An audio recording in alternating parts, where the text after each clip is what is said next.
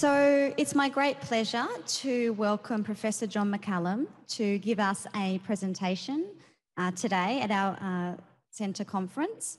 So um, Professor McCallum is the CEO of National Seniors Australia. He's done um, excellent work in the ageing space.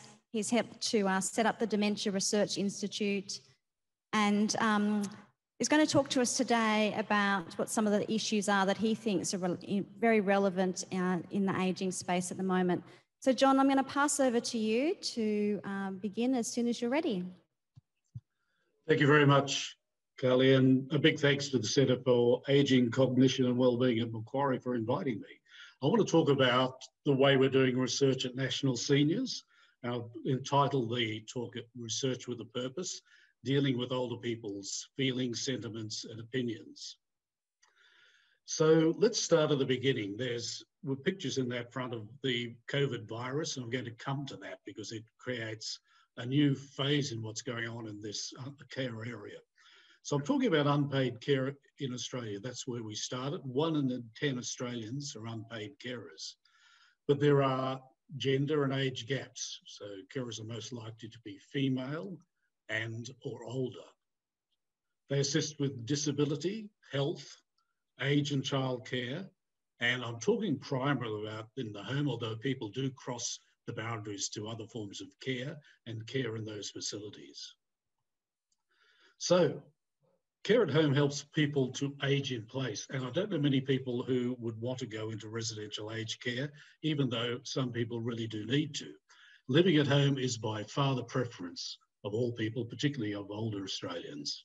Now, caring for grandparents and gr grandparents caring for grandchildren really helps families reduce financial and time burdens in, in, the, in those families. So there's an age and disability care contribution of about 78 billion Australian dollars estimated in 2020. Probably when you cut that back, it's somewhere around 60 or below billion for aged care because it's such a high volume area of care. Childcare by grandparents is around about 4.4 billion. So let's talk about numbers. The major funder of aged care is not the government, it is people working from home and caring for people. So getting into this area, uh, along with groups like Carers Australia and so on, we surveyed our large membership over 50 years uh, plus, talking about the care you give. And we asked about who was caring, caring for whom, who, time spent caring, type and level of caring, and reasons for caring. So who cares? 22%, just over one in five, uh, people who are aged 68 and over. They're both older men and women. And, but there's a, a partner story within the men and women side. But male carers are more likely to be partnered. So you can see in the little circle pie charts that the um, as you move from being partnered to unpartnered, that cream coloured uh, slice diminishes quite significantly. So female carers are also likely to be carers even when they're unpartnered. Who are they caring for? Well, they're caring for the biggest group are partners and then caring for parents. Uh, in between, caring for a friend, which I think is a very significant and interesting area. People are not just within the family, they're caring for friends. And then there are people who are caring for sons or daughters, probably disabled uh, or needing help in many ways. The average time spent about 26 hours per week, but some people work seven days a week, 24 hours a day doing care. So the level of care is not light. It's 50% provide medium to high levels of care. It's more than 50%.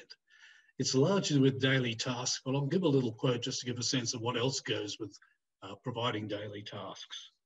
We find there's an absence of care plans. So if you were to go into formal, um, paid care delivered into your home, there would be, there has to be a care plan with that. But people caring at home don't have that support or that skill. It is available, but it's not very well promoted, not very well got through to them. So let's look at uh, what one person said, uh, talking about doing daily tasks. It's a very simple, short quote. High level of emotional support needed for father. So I'm there most days, except when really unwell myself. So carers reported having poorer health than people who weren't providing care. So this really gives us uh, an insight that more support is needed. Again, if you look at the pie charts, you can, you can see that the, um, the cream and dark coloured grows if you're not providing care. So care is a big demand on people's health. And then came COVID. So we're looking at these things and then we were looking at this occurring under COVID. What we noticed first with COVID, it forced older adults into isolation, which meant they couldn't provide their childcare and provide, and it left major care gaps. So that that really highlighted just how important childcare and caring for other people is. We took a look, closer look at the grandparenting role, and 26% of our survey provided care to grandchildren, and about two thirds or more of that are part of what you'd call a sandwich generation. So you can see that little figure there showing that you're both caring for your grandchildren and your older parents. The mean age of people in that sandwich generation was just under 70. So who cares for grandchildren? Grandfathers and grandmothers roughly equally. But again, the partner story comes in. There are fewer single grandfathers providing care. You can see that again in the pie charts. The time spent was an average of about 12 hours per week, and grandmothers a lot more time than grandfathers. What about their attitudes and feelings? Well, there's sort of a, a, most people talk, talk in the first category of love, joy, a chance to pass on wisdom. But there is another category. It's an obligation. We feel undervalued. It's demanding. Starting with a quote to support the last one, too many grandparents have their lives ruined as full-time babysitters. And I think some people might identify with that. The second one being the, the, dominant one, it's the greatest thing in my life. It's very rewarding, or you know, much more lengthy puts to that theme. So what have we learned from the research? We learned that older adults given received care in large numbers, and this was accentuated by the loss of it during the, the lockdowns carers needs significantly more and better research. I'll talk a little bit about that in terms of the Royal Commission in my final slides. If we have more effective and accessible support, we will have a great ability to care and to care for longer periods. And this will be quite volunteering, willing care. So looking at effective carer supports, what's urgently needed? Uh, carer digital literacy, training and education, where that's something that people are willing to do legislation protecting carers, financial support and incentives, practical assistance, and wellbeing respite and community care to back that up. We'll talk a bit more about that in terms of one of the things we're doing. So our research through COVID covered three themes. We wanted to document the experiences of older Australians so they weren't lost in history in a peak event and then not talked about, not recorded, not understood.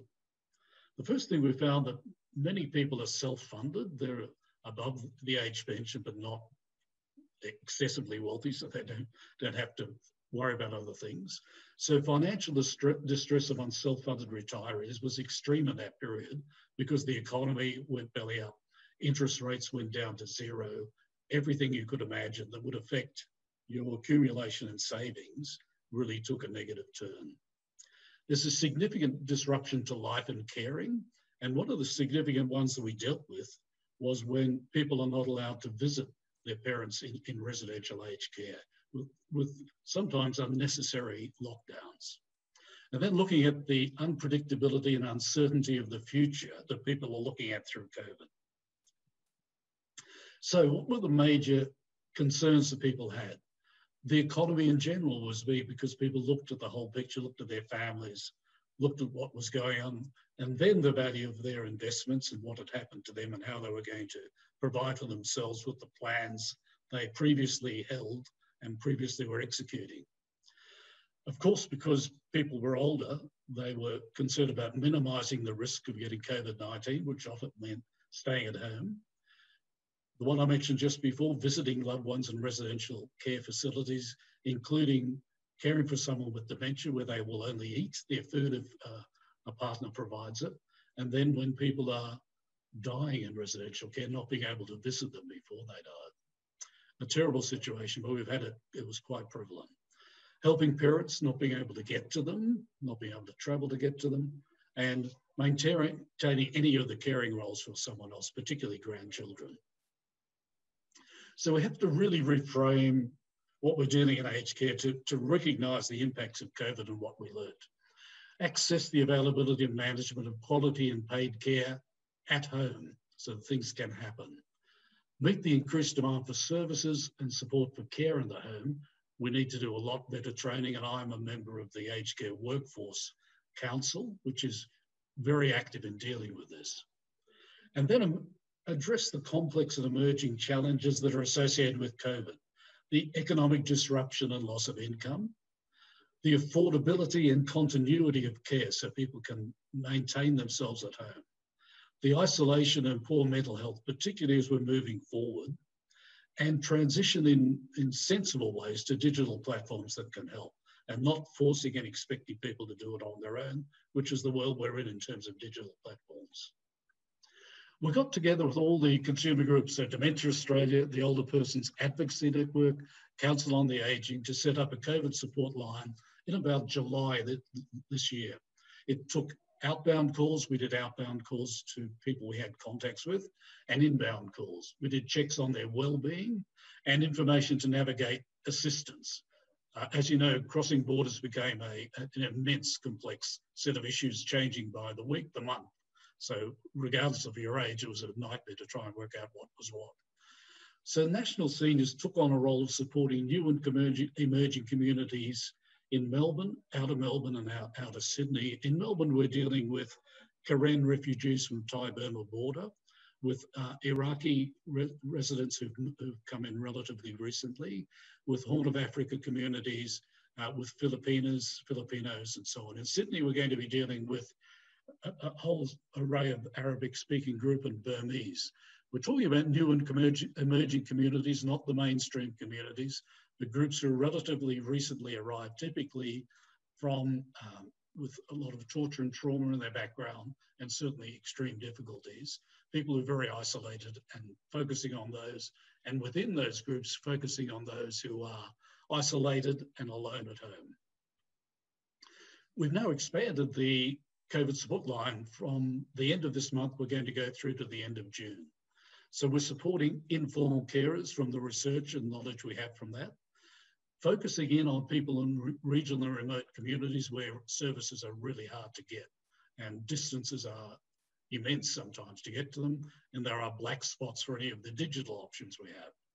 So we extended our CALD, CALD program in Melbourne and into the Sydney region, and we're in partnership with the Australian Unity CALD Alliance, who are uh, represent those new and emerging communities with people who are articulate and able in that alliance to advise us in and how to make those contacts and how to do them effectively. So coming up to wind up. When we put in our uh, submission to the Royal Commission on Funding Aged Care, the submission was entitled Funding from the Base Up. And here's, here's the reason why. We know that the major dollars in care are coming from unpaid care, from that calculation we have of 60 billion or so. So we need to support that major care base to prevent high needs and getting people into paid home care and into residential aged care. So you're supporting higher needs at less cost with people who are willing to do it. If you can support them properly, they can do it better and longer. So then the next next one up in terms of uh, support is home care, which is again costing the government less than residential care. So home care really supplements unpaid care at home and is our next largest area of value. So uh, home paid paid home care is never never solely on its own. It's always with the support of people working at home. Finally, residential aged care is the most costly and least preferred service. As I mentioned earlier, some people will, will need that service, but most people don't want residential care, they want to stay at home. Prevention enabled by better respite care will enable people to stay at home and to reduce those costs and to have their preferences respected. The Royal Commission has put in quite a, a number of propositions around getting respite, which are very strongly supported by us in groups like Carers Australia. I wanted to just finish up just to remind us of the real, real impacts of COVID. and what, what they did. So we're talking about, um, I would volunteer, I volunteer, I miss it. I need to do those regular activities in my life. I'd love the chance of seeing my family again. Haven't seen any of them since March. I'm missing them more and more, feeling more lonely now. I retired recently and probably shouldn't have. My superannuation has dropped considerably. And I'm now worried that it won't be enough. And now I'm too old to get a job. I get panic attacks when people break the distancing laws. So I entitled my uh, topic Research with a Purpose because in a former life as a researching academic, I did research to get more research funds and got other people to do what we'd recommended. We're now in a position to be able, through national seniors and other consumer groups, to be able to put into action the recommended recommendations we've found in our research. I think the last point I'd leave you with is that COVID-19 has left major gaps in the needs of older Australians that we have to address. So if I may, I'll stop there and I'm open to any questions and comments.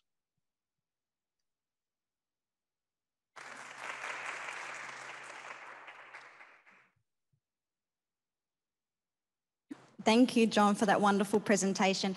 You couldn't hear the clapping. We were all clapping here, but I don't think that came through to you. it did, it did on the tail end. I wonder what they're clapping for. I'll get them to clap again. Clap again. Hopefully you heard it that time. I did, yeah. I've heard it twice now. I need, sorry, my video is off.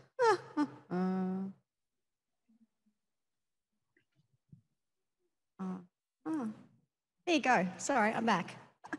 Um, yeah, thank you for that wonderful presentation and, and uh, telling us about some of the work that National um, Seniors Australia is doing. Clearly, very important work, um, and particularly during this COVID 19 period. I um, had some questions, and then we're going to take some other questions for you as well. Um, and I'm sorry if I missed this, but did, did you say how many people have actually used that telephone support line that you have set up? Since it, since its beginning? It's uh, uh it's did uh, it, I did and I didn't say it, but we do have around about five thousand that we've dealt with in the first six months of it. Uh, so that's that's a combination of sometimes very long calls, sometimes very short calls, like how can I get across the Queensland border, versus talking through a range of issues with people who are quite distressed. Um, we've we've had to set up. We, most of the um, consumer groups have have call centres of various kinds. Um, and we've had to make this a, a, rather special one where we had people who could respond to, to needs that are there, uh, in particular when there's some form of distress that we're not competent to deal with, to be able to, first of all, talk that through and then uh, move it to somewhere else. Um, so I think the real concern now is we're going on for another uh, six months to the end of June, actually. So it's, it's eight months. So there's, there's a noise in the background, I've just dealt with it. Uh, we're, we're really looking forward now to that period where we're going to have to deal with what will be some quite significant uh, social issues and mental health issues. And we're linking up with groups and, and dealing with that that way. Yeah, thank you. So could I just finish that and say we expect to do about 60 to 80,000 by that time. Um, I mean, John, your presentation really raised um, a number of gaps, as you say, about how um, we get services to older people and what their needs are, particularly during COVID 19. Do you have any ideas um, about how we get those services to people? Because it strikes me that the traditional ways of maybe assisting people needs to change during this period. Yes. So um, the, the strategy that, that the consumer groups have got to is that we have we have memberships that are very large. So, for example, National Seniors has 100,000 members and other people who connect to us who we can connect.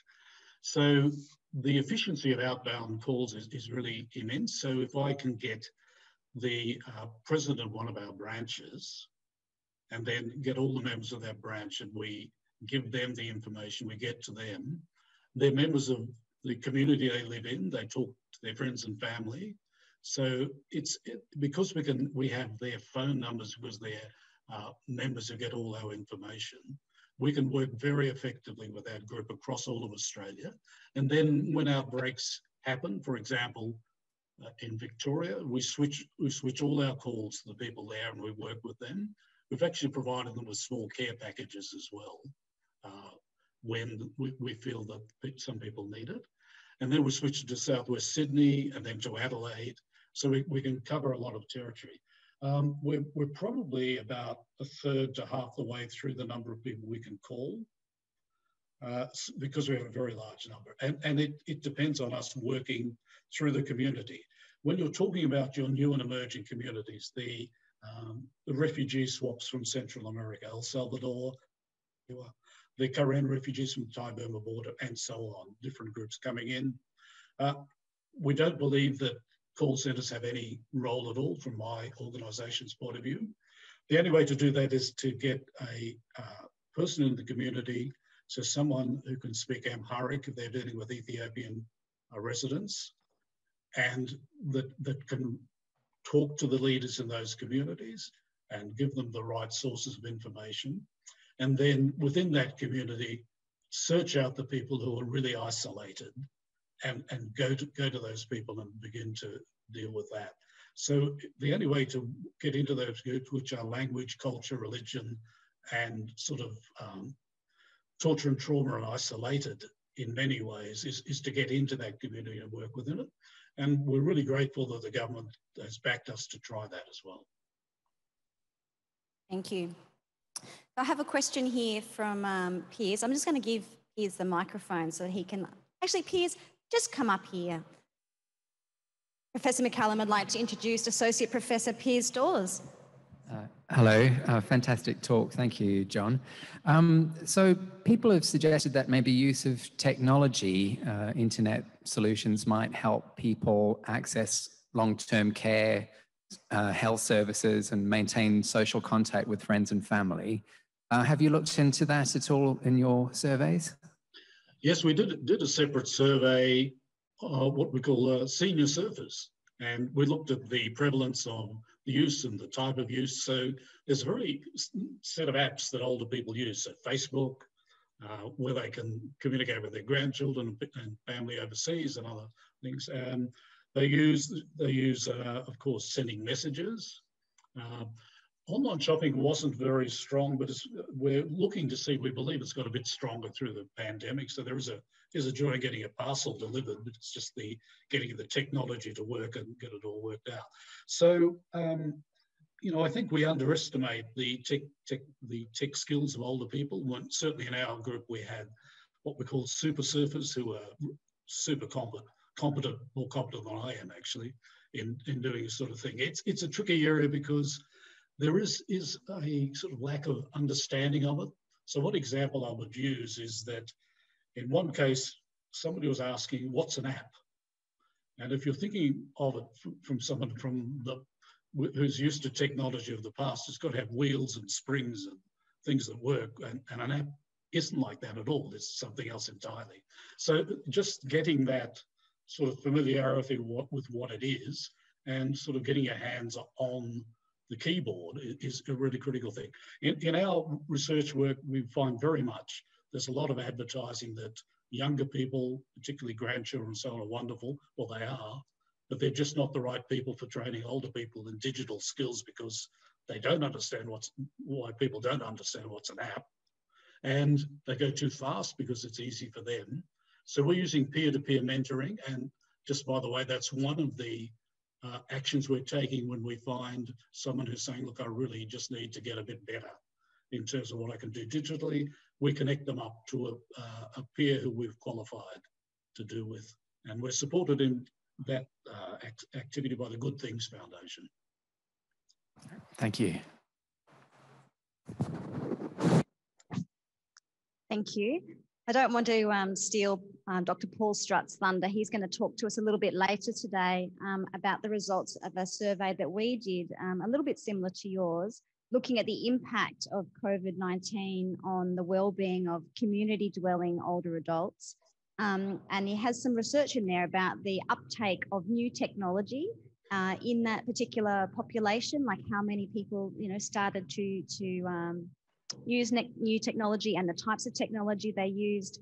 Um, and I think of interest to you, um, John, we also actually surveyed uh, impacts on grandparenting, um, the relationships and how people felt about that, because you are absolutely right in your presentation when you said that grandparenting is a really important people, a really important part of um, uh, just you know well-being and satisfaction for older people. And we found exactly that that one of the biggest impacts of covid-19 was really about how people missed the uh, relationship and the contact that they were having with their grandkids. So um, yeah dr um, uh, paul strutt will tell us a little bit more about that later this afternoon. I look forward to that. I'd love to catch up on that. Excellent. Do we have any other uh, questions? I'll just check to see if i've got any more for you. Could I make a quick comment while you're doing that? Yes, please, go ahead.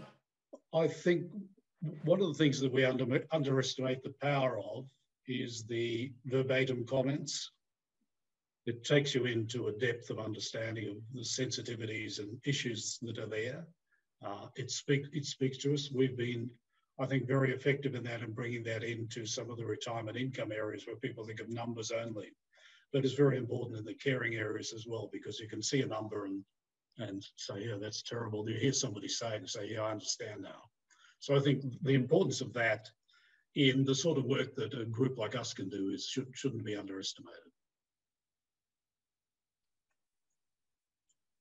Okay, well, actually, I think I'm going to have to uh, move along to our next speaker. So, thank you very much for joining us. I'm sorry we couldn't have you on campus, but well, that's just one of those COVID things. But hopefully, next uh, next year as the uh, restrictions are easing, we'd love to have you out here to come and meet some of the researchers and to hear a bit more about um, the fantastic work you're doing, particularly with that support line. So thank you very much. It's a privilege to talk. Thank you. Yes, thank you. Thank you. We're clapping again.